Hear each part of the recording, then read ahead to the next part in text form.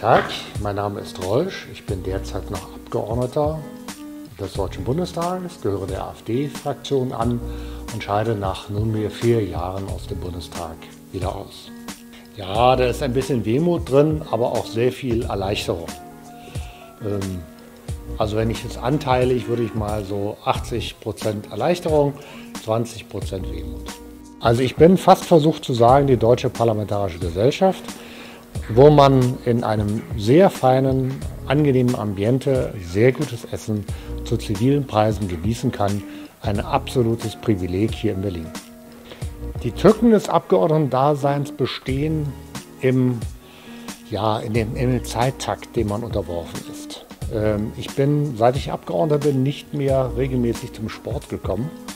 Äh, das macht sich hier und da bemerkbar, wenn man gewohnt war, sein Leben lang eigentlich Sport zu treiben.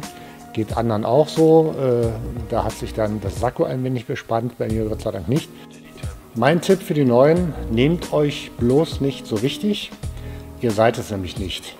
Viele Neue kommen hier an mit äh, dem Kopf voller Ideen, mit geschwollener Brust, voller Begeisterung über den erzielten Erfolg und äh, glauben, jetzt werden die Ärmel hochgekrempelt und äh, wird die Welt aus den Angeln gehoben. Das wird sie nicht, jedenfalls nicht von den Neuen.